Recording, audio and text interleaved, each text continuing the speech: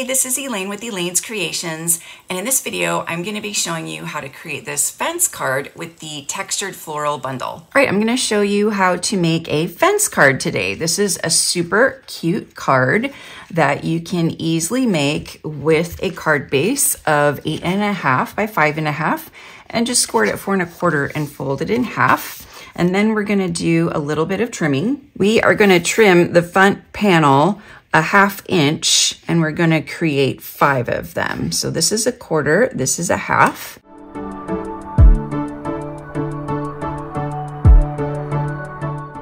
Now we're going to emboss all of these with the timber embossing folder. And I'm going to use plate number one and plate number four since this is a 3D embossing folder.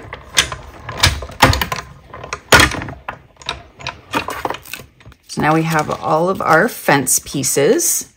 So you're gonna end up with four strips of five and a half by half an inch and then use one of the strips to be three and a half and then you'll need two extra three and a half by one inch to create the posts. So for the posts, I'm going to use the banners pick a punch to create the top of the posts. So I'm just going to insert in my posts and I will get them lined up at the half inch here.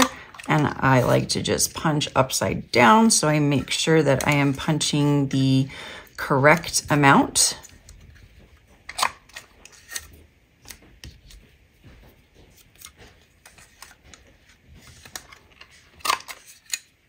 Next, I'm just going to use some grid paper to help me align the fence. So I'm going to place my uh, fold here actually at four and a quarter.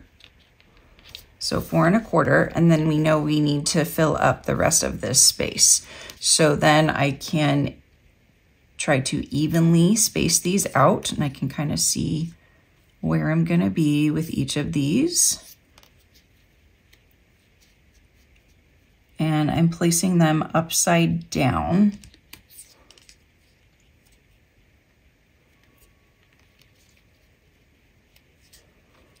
Now I can tell it's probably a little more than eighth of an inch that I'm gonna space these. Next, I just have some washi tape and I'm just going to place the washi tape down to hold these in place.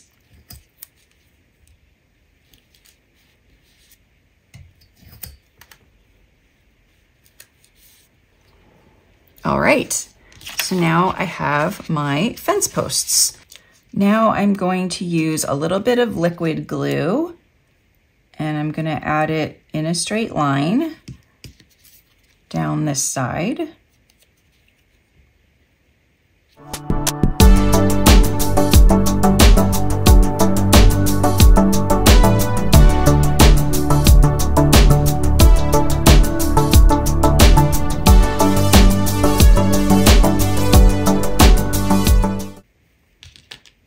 Next, we're gonna create a watercolor wash background for the inside of the card. And I'm gonna start by squeezing a bunch of water and just spreading it out all over the watercolor paper. This is the watercolor 100 fluid paper. And I want to do an ombre, so I'm gonna start at the bottom and then keep adding uh, color lightly as I go up. So I'm just gonna squeeze because um, I want this to be very watery, washy kind of look, and then just go up. And then we'll get uh, a little bit more, make this darker.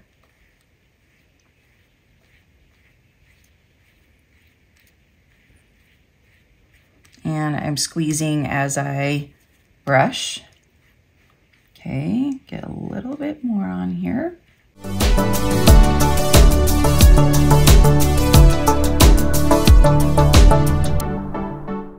Okay, and we will let that dry. And now I'm going to do the spritz trick again. So I'm going to ink up the stamp and spritz it with the water spritzer. And then I'll stamp it.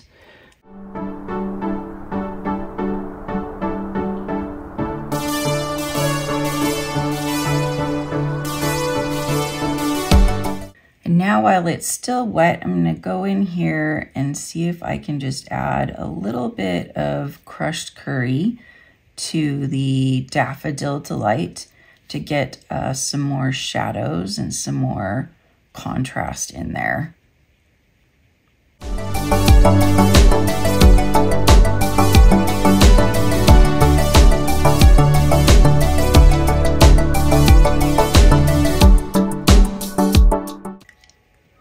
The last bit of watercoloring I'm gonna do is just to watercolor these two pieces and then I'm gonna use the leaf dies to cut these out. And so the leaves themselves uh, will look watercolored even though they are die cuts. So again, I'm just gonna get these all nice and wet. I'm gonna grab some of this. I'm gonna just kind of drop and let the water kind of do its thing and just kind of fill things in here. And yes, it uses quite a bit of water, but it's great to uh, use a lot of water so you can get that nice watercolory look and get the water to spread, spread the color.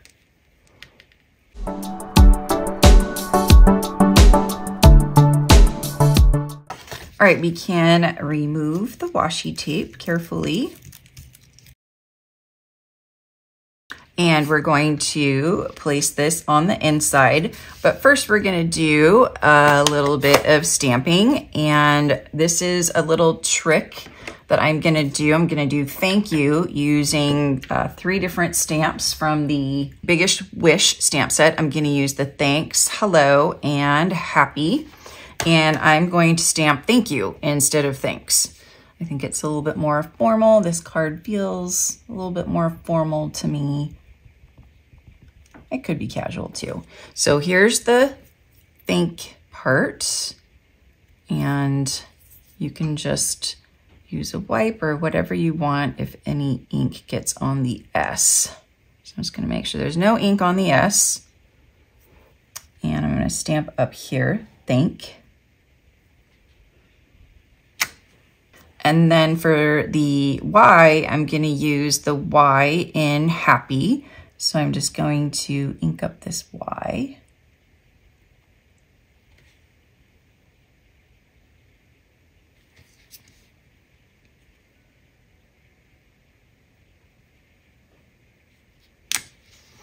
And now I'm gonna use the O in hello, and this is nice because they are all at the end. Makes it a lot easier. So I'm gonna line up the O. So I have my U, so Y-O-U. For the U, I'm gonna come back to my happy again, and I'm just gonna use the top of the Y. So that one's a little bit trickier. But I just want the top of the Y. So I'm just gonna ink that. It looks like I got the P. And that's what's great about photopolymer stamps is you can see exactly where the ink is and where you are stamping. So looks pretty good. It's not perfect. You can take a marker and kind of touch that up. These are our new markers. They have a bigger uh, brush tip. And so I'm just gonna use that here to kind of fix that and then extend our U down a little bit. Curl it up a little bit and then we'll make this part of the U a little bit stronger. And I think that looks pretty good. And then we can also touch this up too, because that was kind of, there we go.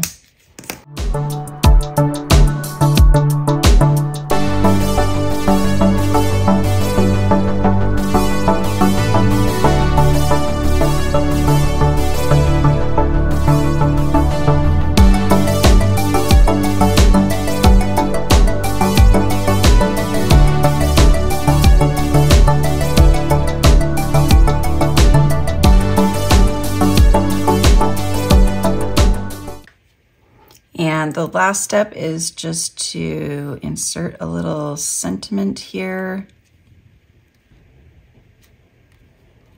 And there you have your fence card using some watercoloring for the flowers and for the inside.